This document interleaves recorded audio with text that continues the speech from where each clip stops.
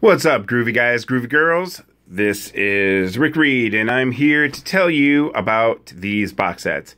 Why am I telling you about these box sets? Well, because, first of all, they're Bugs Bunny and they're awesome, right? Yeah, I had bought this uh, Looney Tunes box set. It's the Golden Collection, volume 1 through 6.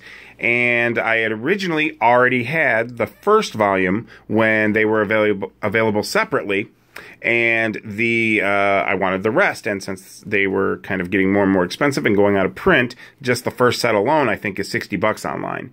Um, I was like, shit, I better get those other ones. Uh, and so I found this set pretty cheap uh, for like fifty eight bucks. Now.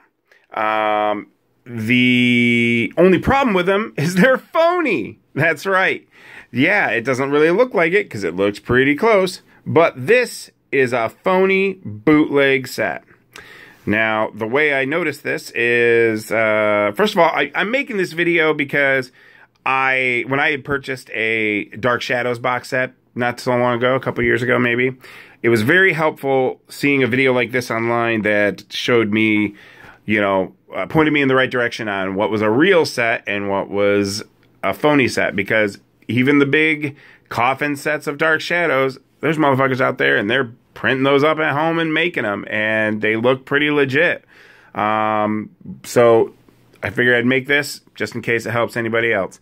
So when you get down to business here, it, it's a pretty good set there. Uh, the bootleg, it looks like it, but as I was watching it, I noticed that the menus that when they go zip into some animation of the titling or whatever around the menu, you know, uh, telling you what cartoons and whatnot, things would get a little pixelated, which isn't normally what happens there.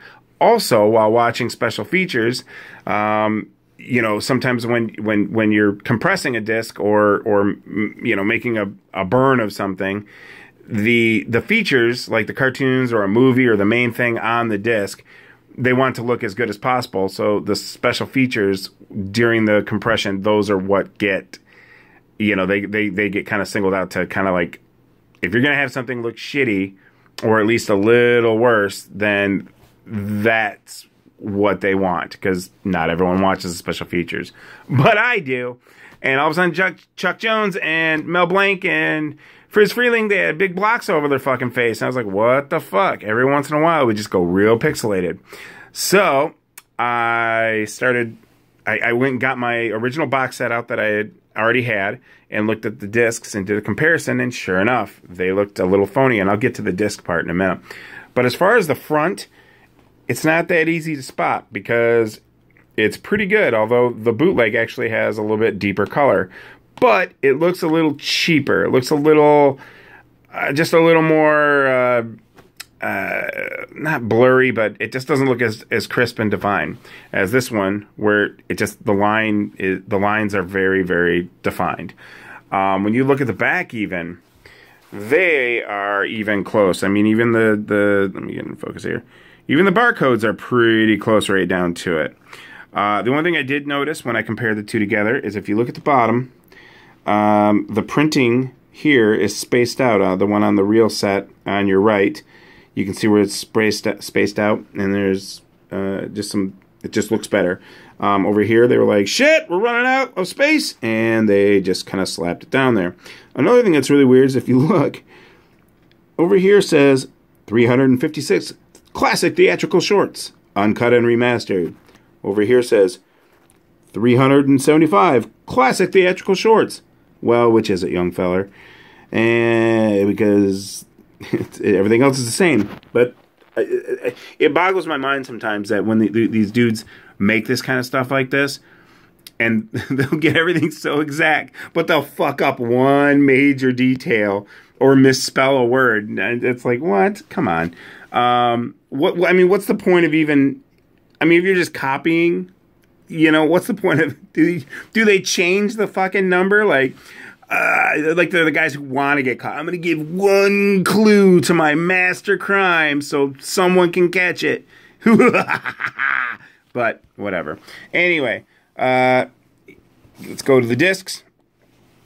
When you take out the first set, let's just compare the first set here. Another indicator is if you see that plastic, See how it's kind of it's hard, it's hard to see because it's shimmering, but it's it's really kind of ruffled at the edges there, kind of like a cheaper case. Um, that's because it is, and it's it's it's not easy to notice, but you'll kind of feel it.